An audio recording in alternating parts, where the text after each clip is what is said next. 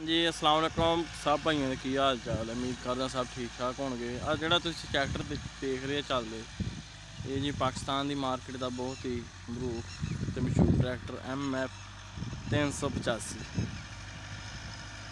ਤੇ ਮਾਡਲ ਵੀ ਇੱਕ ਹੀ ਆ, ਚਲਾਉਣ ਲੱਗਿਆ ਵੀ ਡਰ ਹੀ ਆਂਦਾ ਵਾ ਵੀ ਬਸ ਅੱਲਾ ਦਾ ਨਾਮ ਲੈ ਕੇ ਜਾਈ ਜਾਈਦਾ ਵੀ ਦੇਖ ਅੱਲਾ ਖੈਰ ਰੱਖੇ। ਜੀ ਮਾਸ਼ਾਅੱਲਾ, ਬਹੁਤ ਅੱਛੀ ਪਰਫਾਰਮੈਂਸ ਹੈਗੀ ਹੈ Petrinho.